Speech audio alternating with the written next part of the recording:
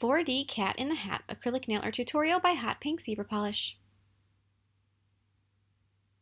Hi everybody! In today's video I'm going to do an extremely 4D cat in the hat that has little items that he's juggling up and over his head that are on a piece of wire. This is such a cool design, probably not very wearable, but it is inspired by this little girl's dress. And I just want to show you her dress because it is so stinking cute and it's got little cats in the hats all around the bottom and it's adorable. So I hope you guys like it as much as I do, and don't forget to click subscribe to see all my future videos as well. Begin with an overlay of an aqua color acrylic. As you can see, I am struggling with my aqua because it's doing that little color burst thing.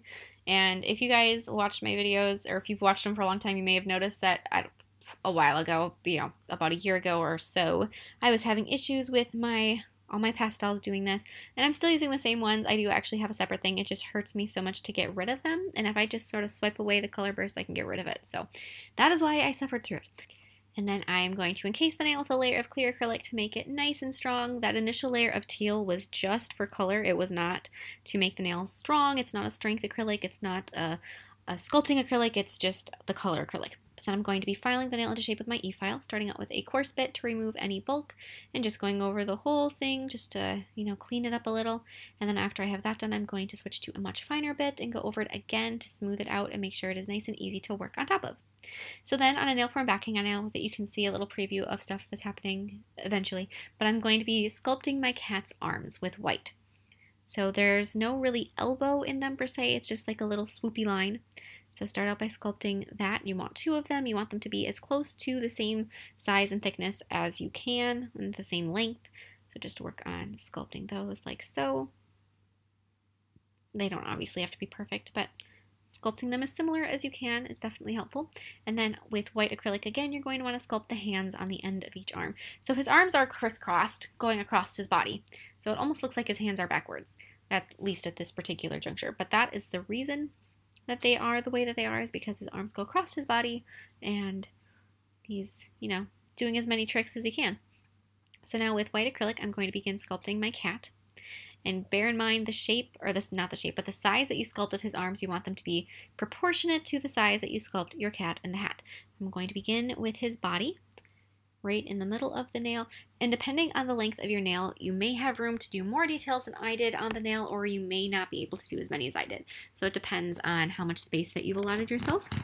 So if you do have more space on your nail than I did, I would definitely recommend, because at this particular point, he is also balancing on a beach ball and I ran out of space and didn't have space for that. But if I did, I would definitely make it so that he was bouncing on the ball while he's, you know, holding up the fish and so on and so forth. At his little tail, I also did the first layer of his face. So add the tail off to the side. And guys, this is one of the most time-consuming nail designs I have ever done, which it may not really look like it, but there is just so much detail in this cat in the hat. And I don't know if you guys noticed Melody's dress in the intro, but she has a cat in the hat dress, and as soon as I found that dress for her, I one fell in love with it, and two knew I needed to do a nail design that went with it because that's just the kind of thing that I do.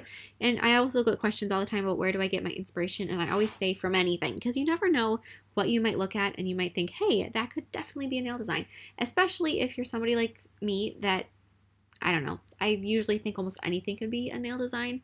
As I'm looking around the room, as I'm doing this intro, I can see like 50 things that I could make into a nail design. It's just, it's a process of training your brain to see possibilities, I believe, is kind of the way that you have to go about doing it.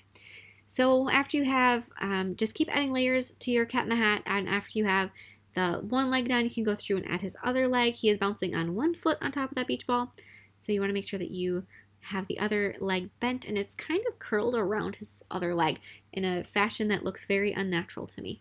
But just go through and add that second leg, starting out with that L shape or backwards L shape, and then tucking the foot behind his knee.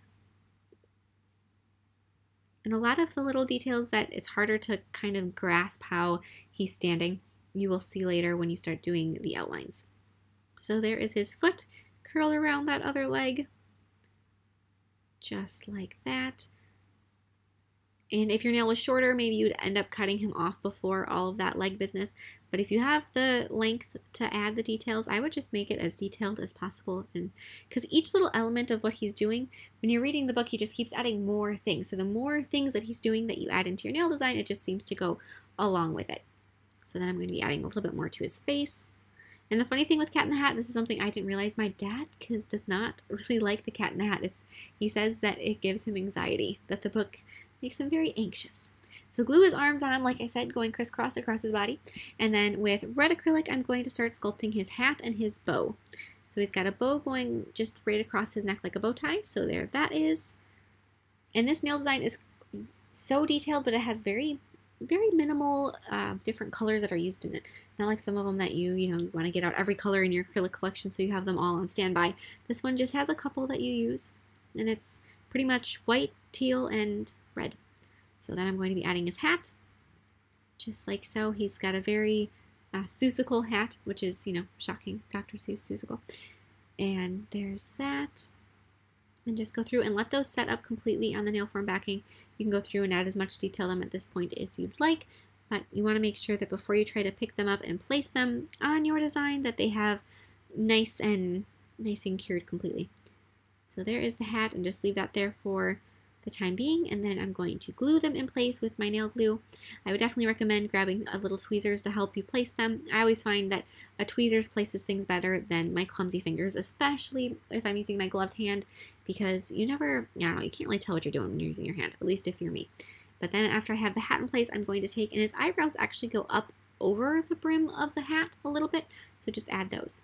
And then on the nail form backing, I'm going to be sculpting the items that he is juggling.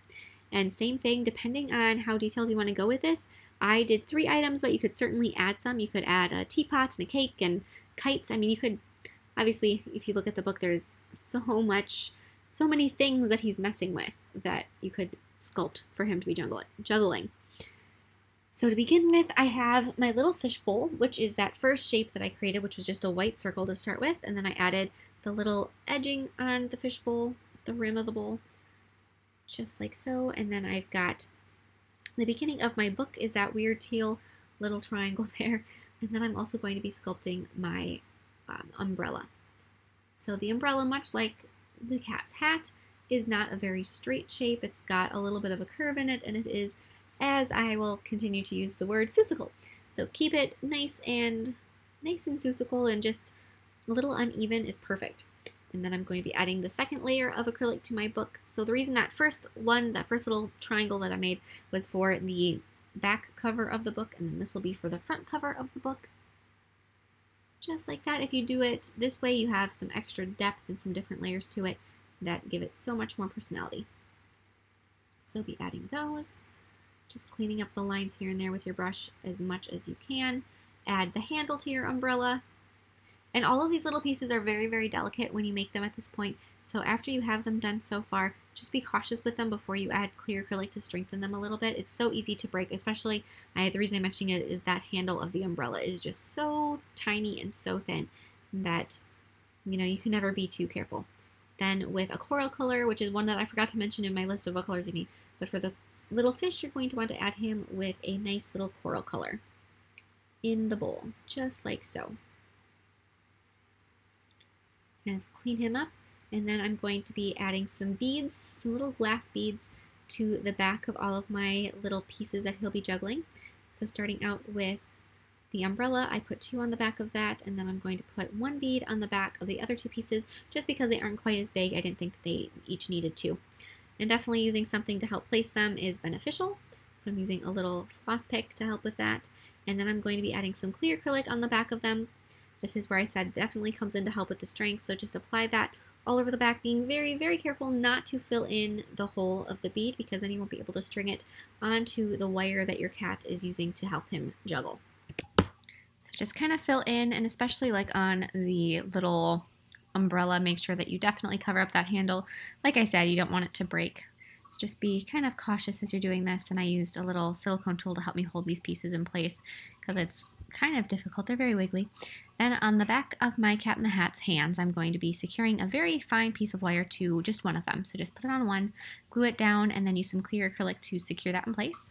Then string all of your little juggling pieces on top of that wire. So I've got first my book, then my fish in the bowl, and then I'm going to be adding on my little umbrella. Then curve your wire around into a nice loop shape and glue it to the back of the other hand. Same thing, take that glue, place it down, hold it for just a second until it really sets up. It may take a little bit, a little more effort to get that one to stick than the first one because it is, you know, working against the force of that curved wire. Then secure it with clear acrylic just like you did the other side. And then you can sort of shape your wire so it's a really nice smooth curve if you want. Then I'm going to be brightening up the hat of the cat in the hat with some red paint that's a little bit more of a vibrant shade, as well as his bow. So just go through and add a little bit more, a little more color to those.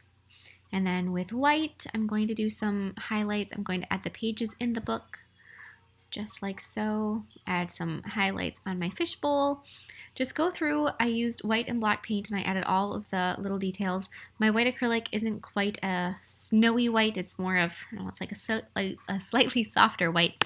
So I can highlight it with white paint, but then go through and add stripes across the hat. There's so many fun little details on this cat in the hat that you can just keep going through and adding details. A lot of the shading that's actually done on the cat is done with a series of really thin little black lines. As you can see, I just added some. So that's really fun to do. It makes him look a little bit hairy and just gives him that really classic cat in a hat appearance. So for doing that, I would recommend thinning out your black paint ever so slightly so it's a little easier to work with. It doesn't take much, but just thin it out a touch, especially if you're using a heavier body paint, then um, and the one I'm using, it would definitely help to have a little bit more water content in it. Add some detail to his hands, outline his arms so you can really see the crisscross action on them. Add a bit more on the other hand. Go through and like I said, with the little tiny lines, add some shading here and there on the cat.